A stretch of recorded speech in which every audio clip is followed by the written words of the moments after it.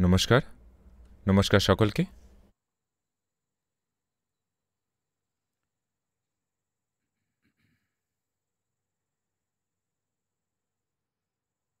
এটা আপনাদের অনেকের জন্যই। এই সময়টা ভাইরাসের সময়টা।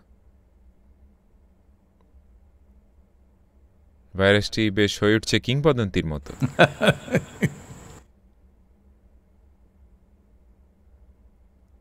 একটি অদৃশ্য কিছুর জন্য এটা বেশ বড়সড় একটা কৃতিত্ব। হয়ে যাচ্ছে একটা তারকা বিশ্বস্তরে। ভয়ানক তারকা, তবুও তারকা তো বটেই। আমি মনে করি না, কেউ আছেন এই জগতে যে কিনা অন্তত একবার এর নাম মুখে নিচ্ছেন না সারাদিনে।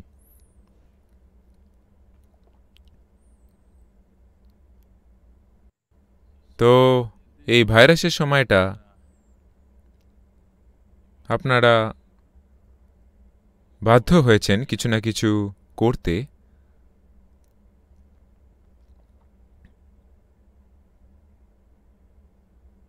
জোর করে চাপিয়ে দেয়া কর্মহীনতা। মনে হতে পারে জেলখানার মতো, বা তার থেকেও খারাপ কিছু।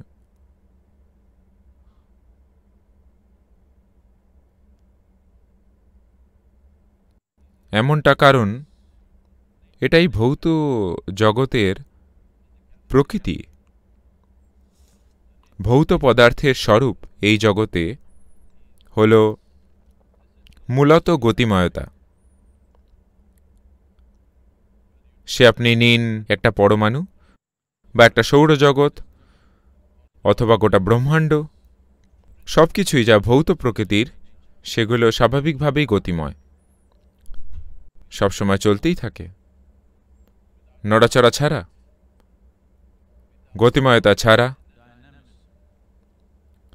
কোনো ভৌত কিছু থাকতে পারে না। তাই যে মুহূর্তে আপনি বাধ্য হয়ে পড়েন নিষ্ক্রিয়তায়, এটা যেন মনে হয় আপনাকে দমন করা, আটকানো, জেলবন্দি বা তার চেয়েও খারাপ। এটা হয়তো মনে হতে পারে মৃত্যুর মতো।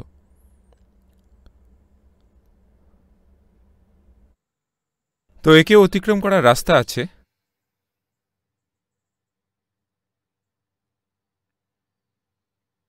তো আছে কর্মের গতিময়তা।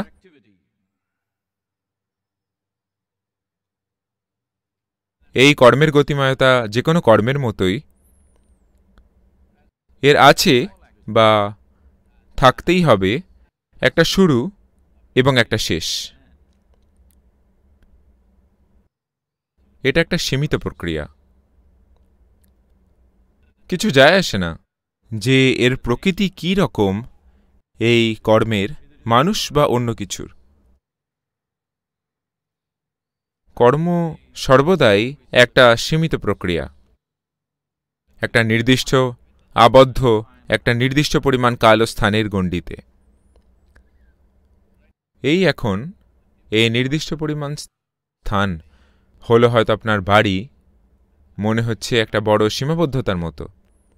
কিন্তু যদি এমনকি এটা যদি একটা গ্রহ হতো, বা সৌরজগৎ, বা একটা ছায়াপথ, যতই আপনার স্থানান্তরের ক্ষমতা বাড়বে, ততই একটা ছায়াপথ ও মনে হবে একটা গণ্ডির মতো। এটাই কর্মের প্রকৃতি। এটাই ধরন ভৌত গতির একটা একটা শামুকের জন্য যেটা এই বাগানে আছে। এই ছোট্ট বাগানটি হবে বিশ্ব ব্রহ্মাণ্ড হয়তো। কারণ সময় লাগে এক জায়গা থেকে আরেক জায়গায় যেতে। অনেক অনেক দিন লাগে বা হয়তো কোনোদিন সে পৌঁছাবেই না শেষ প্রান্তে।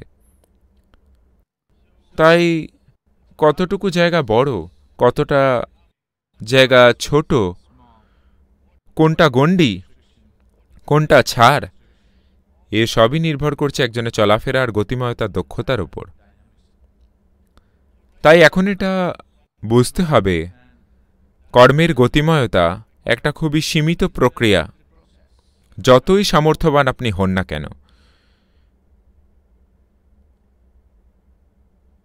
কিন্তু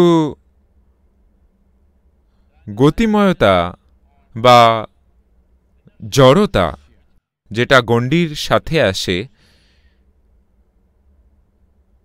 সেটা মনে হচ্ছে গণ্ডির মতো এবং মনে হচ্ছে একটা দমবন্ধকর প্রক্রিয়ার মতো। শুধু এই কারণে যে এটা থমকে আছে। আপনি অনুভব করছেন নিষ্ক্রিয়তাকে স্থবিরতা হিসাবে। প্রবর্তিত করা নিষ্ক্রিয়তা যেটা নিয়ে এসছে এই জড়তা, এই জন্যই একজনের স্থবির মনে হয়। স্থবিরতা স্বাভাবিকভাবেই নিয়ে আসবে মৃত্যু একদিক থেকে। আপনি হয়তো মরবেন না, সাথে সাথেই, কিন্তু নানাভাবেই আপনি মারা যাবেন। একবার যদি স্থবির হয়ে যান তো। একটা উপায় আছে? রূপান্তরিত করা নিষ্ক্রিয়তাকে স্তব্ধতায়, স্থবিরতায় নয়। স্তব্ধতা হল প্রচণ্ড গতিময়। কিন্তু এতে কোনো ক্রিয়াকলাপ নেই। স্তব্ধতা হল উৎসের প্রকৃতি। ক্রিয়াকলাপ হল উপরিতলের প্রকৃতি।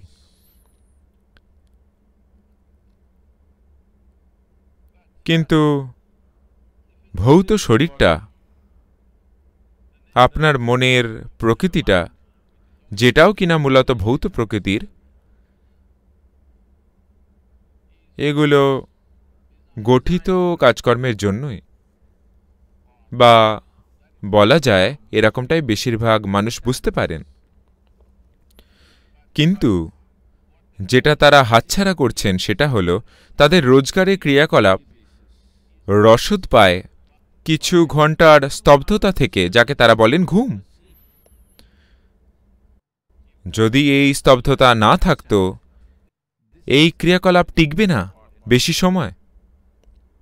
একমাত্র সমস্যা হলো এই স্তব্ধতাকে নিয়ে যে এটা হলো এক অচেতন অবস্থা, যেখানে আপনার কোনো অস্তিত্বই নেই, আপনার কোনো ভূমিকাই নেই। লোকে বলেন আমি আমার ঘুম উপভোগ করি। কেউই তাদের ঘুম উপভোগ করতে পারবেন না। আপনি হতে পারে উপভোগ করবেন বিশ্রাম, যা ঘুম আপনাকে এনে দেয়। আপনি হয়তো পুনরুজ্জীবনকে সতেজতাকে অনুভব করবেন, যা ঘুম এনে দেয়। কিন্তু ঘুমকে আপনি উপভোগ করতে পারবেন না। যদি আপনার এটা মনে হয় যে আপনি এটা উপভোগ করছেন, তাহলে হয়তো আদতে ঘুমানোর ভান করছেন, সত্যিকারে ঘুমোচ্ছেন না। তো স্তব্ধতা, গতিশীলতার এক অন্য মাত্রা। এখন গতিশীলতার এই মাত্রার প্রয়োজন একটি তীব্রতার। জীবনের একটি তীব্রতা যা কখনোই একজন ক্রিয়াকলাপের দ্বারা পেতে পারে না। কারণ, যদি আপনি আপনার ক্রিয়াকলাপের তীব্রতার এক নির্দিষ্ট মাত্রায় পৌঁছন, আপনি ক্লান্ত হয়ে পড়বেন। এটাই ক্রিয়াকলাপের প্রকৃতি। ক্রিয়াকলাপ যতই সাবলীল হোক, যতই মনোরম হোক যতই আনন্দদায়ক হোক, নির্দিষ্ট তীব্রতায় করা প্রতিটি কার্যকলাপ স্বাভাবিকভাবেই আপনাকে ক্লান্ত করে তুলবে। এটা আপনাকে বাধ্য করবে স্তব্ধতার ঘুমে ঢলে পড়তে। কিন্তু স্তব্ধ হওয়া সচেতনভাবে মানে হল, আপনি একটি সেতু তৈরি করেছেন। আপনার অস্তিত্বের ভৌত এবং অভৌত মাত্রাগুলির মধ্যে। যা কিছু ভৌত, ছায়াপথগুলি, সূর্য, চন্দ্র, গ্রহগুলি, প্রতিটি পরমাণু, তারা প্রত্যেকে গতিশীল, এমনকি এই দেহটিও। যদি এটা পরম জড়তায় পৌঁছয়, তাকে বলা হয় মৃত্যু। বা অন্য কথায় গতিশীলতাই হল ভৌত অস্তিত্বের ভিত্তি। ওই গতি ছাড়া ভৌত প্রকৃতির কোনো অস্তিত্ব নেই। এটা হলো সেই পুরো প্রক্রিয়াটি যে কতটা সুগভীর বা একজনের জীবন সম্পর্কে ধারণা কতটা প্রগাঢ় আর কতটা যথাযথ বা উদ্দেশ্যবাহিত কাজকর্মের ধরন স্রেফ নির্ভর করে। আপনি আপনার স্তব্ধতার গভীরে স্পর্শ করছেন? নাকি ভৌত দোলনের বাইরের স্তরেই রয়ে গেছেন? তার ওপরে এটাকে আপনার বুঝে ওঠা। এখন এটাই সঠিক সময়। কারণ ভাইরাস, আমি এটা করতে পারিনি। এখন আপনারা বাড়িতে রয়েছেন, আপনারা এই মাত্রাটিকে আপনাদের জীবনে আনতে পারেন, যা অস্তিত্বের এক তীব্র কিন্তু স্থির পথ, স্তব্ধ পথ। এই মুহূর্তে বেশিরভাগ মানুষেরই এটা সমস্যা যে, যদি আপনাকে তীব্র হতে বলেন, সে উত্তেজনায় কঠিন হয়ে পড়বে। তো তাদের আরাম করা হলো সাধারণত অলস হয়ে পড়া। যোগের এটি সার কথা, যে একই সঙ্গে আপনি তীব্র অথচ স্বচ্ছন্দে রয়েছেন। চিন্তায় আপনার উপলব্ধি গভীরভাবে হ্রাস পায়। অলসতায় আপনার সেটা থাকেই না। কারণ একজনের জীবন প্রক্রিয়াকে প্রসারিত করার সার কথা হল, জীবন প্রক্রিয়ার উন্নতি সাধনের ভিত্তি হল তার উপলব্ধিকে বাড়িয়ে তোলা। এটা তখনই সম্ভব যখন আপনি তীব্র অথচ স্বচ্ছন্দে রয়েছেন। তো আমরা একটা সরল প্রক্রিয়া করতে পারি এটা দেখানোর জন্য। সর্বোপরি যখন আপনি জানেন কীভাবে তীব্র অথচ স্বচ্ছন্দে বা আরামে থাকা যায় এই বাধ্যতামূলক অথবা জোর করে সবসময় ছুট বা আরাম পাওয়ার কামনা কমে আসবে একজনের জীবনে অনেকটাই। আপনি আপনার অস্তিত্বের আসল প্রকৃতিকেও ছুঁয়ে নেবেন।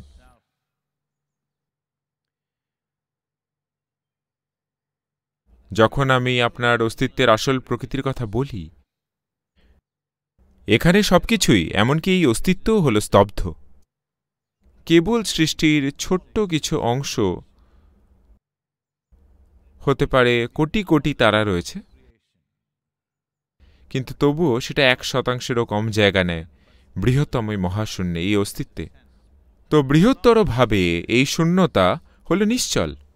কিন্তু এখন ক্রমশ আধুনিক বিজ্ঞান চেষ্টা করছে আর খুঁজে বের করতে চাইছে, এই স্তব্ধতার মধ্যে কিছু একটা ভীষণ শক্তিশালী ঘটছে। এটাই ঘটছে এই বিরাট মহাশূন্যে। আর তাই ঘটছে এর সাথেও। কারণ, এরা আলাদাভাবে সৃষ্ট নয়। এই ক্ষুদ্র জীবনটি আর এই গোটা মহাবিশ্ব সব কিছুই তৈরি হয়েছে একই আদি মূলগত নকশার দ্বারাই। নির্মাণের গঠন আর জটিলতা হয়তো আলাদা, একটি পরমাণু থেকে এই ব্রহ্মাণ্ডে, কিন্তু মূলগত নকশাটি হল এক। বর্তমানে বিজ্ঞানের একটি শাখা যেটা উত্থাপন করছে, যদিও এখনও তাদের অধিকাংশ ভাবেই যেটি বিতর্কমূলক, কিন্তু যোগ পরিশীলনে পরম্পরায় চিরকালই আমরা বলে এসছি অণ্ডপিণ্ড তার মানে যেরকম আছে একটি পরমাণু, সেরকমই আছে বিশ্বব্রহ্মাণ্ড। কেবলমাত্র জটিলতা ও সূক্ষ্মতায় বহুগুণ বৃদ্ধি। কিন্তু মূলত একই জিনিস। সুতরাং এটিরও একটি উপরিতল রয়েছে, যেটা নানান পার্থিব বাস্তবতার উপর নির্ভর করে, এবং এটির একটি কেন্দ্রস্থলও আছে। যেটা ওই সমস্ত কোনো শর্তাধীন নয়। যে শর্তগুলি আমাদের ভৌত সত্তাকে নিয়ন্ত্রণ করে, আপনি দেখবেন সেগুলি আমাদের মানসিক সত্তাকে নিয়ন্ত্রণ করে না। যদি তাই হতো, যদি এটা এমন হতো যে শর্তগুলি আপনার ভৌত সত্তাকে নিয়ন্ত্রণ করছে, সেগুলোই আপনার মানসিক সত্তাকেও নিয়ন্ত্রণ করত। আপনি খুবই স্বচ্ছন্দে থাকতেন আপনার বাড়িতে। কারণ আপনার শরীরটি বাড়িতে, কিন্তু মন সর্বত্র ছড়ানো। বা অন্তত তাই আপনি মনে করেন। সুতরাং আপনি স্পষ্টতই জানেন যে শর্তগুলো আপনার ভৌতিক প্রকৃতিকে নিয়ন্ত্রণ করে, সেগুলো আপনার মানসিক প্রকৃতিকে নিয়ন্ত্রণ করে না, আর যে শর্তগুলো আপনার মানসিক প্রকৃতিকে নিয়ন্ত্রণ করে, তারা আপনার কেন্দ্রের অস্তিত্বকে নিয়ন্ত্রণ করে না। আপনি যদি একটি সেতু বাঁধেন, আপনার শরীরতন্ত্র, মানসিক পরিমণ্ডল এবং আপনার অস্তিত্বের কেন্দ্রে। আপনি যা, তার নিশ্চল কেন্দ্রস্থলটির মধ্যে, তবে আপনি দেখবেন যে সক্রিয়তা আর নিষ্ক্রিয়তা আপনার জন্য খুব একটা কিছু আলাদা নয়। আপনি নিজেকে নিয়ে আসতে পারেন সম্পূর্ণ স্তব্ধতায়। আর তার সাথেই হতে পারেন বিস্ময়কর রকমের গতিশীল। বিস্ময়কর রকমের গতিশীল, কারণ সেটাই ব্রহ্মাণ্ডে সবচেয়ে গতিময় স্থান, এই অভৌতিক মাত্রাটি। তো আমি কীভাবে এটি করব? আমরা একটা সরল প্রক্রিয়া খাড়া করতে পারি এক্ষুনি, কারণ আমাদের হাতে শুধুমাত্র চল্লিশ মিনিটই আছে। আমি কেবল আপনাকে একটু নির্দেশিকা দিয়ে দেবো এটির, কয়েক মিনিটের জন্য, হয়তো দু তিন মিনিট। কিন্তু আপনি যখন এটি করবেন, নিজে নিজে, আপনার নেওয়া উচিত হয় বারো থেকে একুশ মিনিটের মধ্যে যে কোনো সময়, নিজে নিজে করার জন্য। কিন্তু এখন আমরা করব তিন থেকে চার মিনিট সময় ধরে। আপনি এমনভাবে বসুন, যদি পা আড়াআড়িভাবে মুড়ে বসতে পারেন, তো ভালো, না হলে যেভাবে হয় বসুন।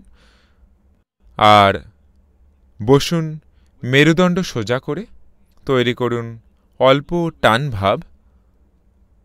অল্প টান টান ভাব, ঠিক সারা শরীর জুড়ে আপনার মাথার উপরিভাগ থেকে নিচে পায়ের আঙ্গুল পর্যন্ত। চোখ সম্পূর্ণ খোলা রাখুন। অন্তত চোখে এমন টান টান ধরনের ভাব আনুন যেন আপনি স্থির দৃষ্টিতে তাকিয়েছেন কোনো কিছুর দিকে।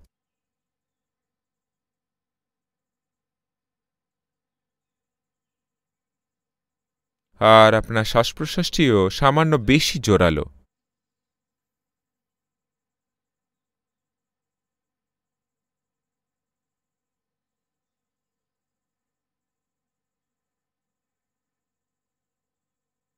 এখন কেবলমাত্র শুধু শ্বাসক্রিয়াকে শিথিল করুন।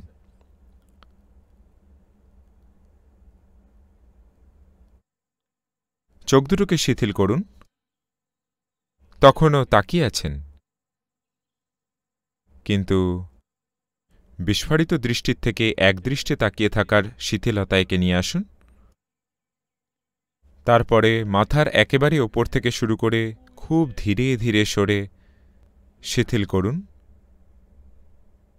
একেবারে খুব ধীরে ধীরে ধরা যাক মাথার ওপরিভাগ থেকে মাথার শীর্ষভাগ থেকে শুরু করে এক সেন্টিমিটার ভেতরের ব্যাসার্ধ থেকে একেবারে শিথিল করুন।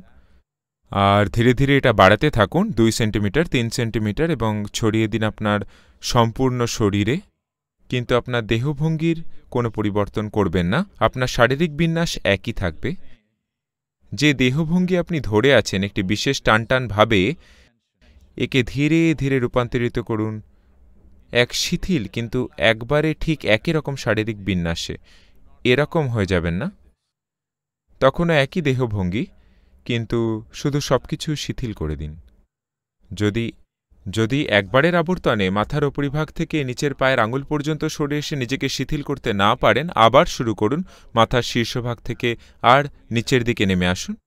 আপনি পরিষ্কার লক্ষ্য করতে পারবেন যে আপনার দেহে শিথিলতা আসছে না আসছে না। এটা নির্ভর করবে কীভাবে আপনার শ্বাসক্রিয়া কাজ করছে। আর চোখের টান টান ভাবের মাত্রার ওপরেও, কারণ আপনি বসে আছেন, চোখের পলক না ফেলে যদি সম্ভব হয়, যদি আলো আরামদায়ক হয়, আপনি পলক না ফেলে বুঝতে পারেন যদি আলো তীব্র হয়। আপনি প্রয়োজনে চোখের পলক ফেলতে পারেন, সেটা ঠিক আছে, কিন্তু এই সমস্ত জিনিস নিয়ে চিন্তা করবেন না। গুরুত্বপূর্ণ ব্যাপারটা হলো, আপনি একটি দেহভঙ্গি তৈরি করেছেন যাকে ধরে রাখতে কিছুটা পরিমাণে টান দরকার। তারপর ধীরে ধীরে একে শিথিল করুন, শ্বাসের সঙ্গে শুরু করুন, তারপর চোখ দুটি শিথিল করুন, তারপর মাথার উপরিভাগ, তারপর নিচের দিকে, এবং বারবার বারবার বারবার একই শারীরিক ভঙ্গিমা বজায় রাখুন, কিন্তু খুব শিথিলভাবে।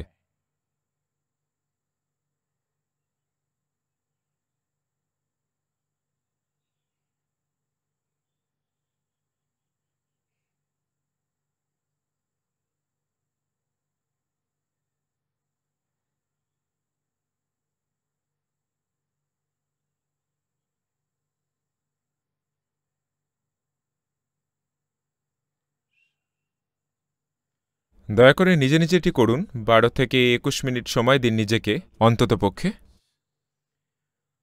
এর গুরুত্বপূর্ণ দিক হল, আপনাকে অবশ্যই বুঝতে হবে, যখন আপনার সক্রিয়তা এবং আপনার জীবন সম্পর্কিত যে ধরনের কাজকর্ম আপনি করেন, শারীরিকভাবে, মানসিকভাবে আবেগগত দিক দিয়ে এবং সেটিতেই সীমাবদ্ধ থাকেন, আপনি স্বাভাবিকভাবেই হয়ে উঠবেন নিজের অজান্তেই। খুব পক্ষপাতদুষ্ট জীবনের পরিপ্রেক্ষিতে। পক্ষপাত মানে হল, এটা যে নিজের অজান্তে আপনি পৃথিবীকে বিভক্ত করছেন। প্রথম বিভাজন হল, আমি বনাম মহাবিশ্ব। তখন তাতে খুব একাকিত্ব বোধ হয়, তাই আমি আর আমার পরিবার বনাম মহাবিশ্ব। তারপর সেটাও খুব ভয়ঙ্কর লাগে এই লকডাউনের সময়, তো আমি আমার বন্ধুরা এবং বাকি মহাবিশ্ব। সেটাও ভালো লাগে না, আর আপনি বলেন, আমি আমার সম্প্রদায় ও বাকি মহাবিশ্ব। আমি আমার দেশ ও বাকি মহাবিশ্ব। এভাবেই আমরা সীমানা বাড়িয়ে যেতে পারি। কিন্তু সমস্যাটা কেবল এটাই যে যে মুহূর্তে আপনি চিহ্নিত হয়ে পড়েন ভৌত গতিশীলতার সীমানাগুলোতে, আপনি স্বাভাবিকভাবেই এক পূর্ব ধারণায় আচ্ছন্ন অস্তিত্ব হয়ে উঠবেন। যদি আপনি একটি সেতু বানান, আপনার সেই স্তব্ধ অন্তঃস্থলের সাথে আপনি পক্ষপাত শূন্য অস্তিত্ব হয়ে উঠবেন। এটা ভীষণ গুরুত্বপূর্ণ। যদি আপনি জীবনকে সেভাবে উপলব্ধি করতে চান এটা যেমন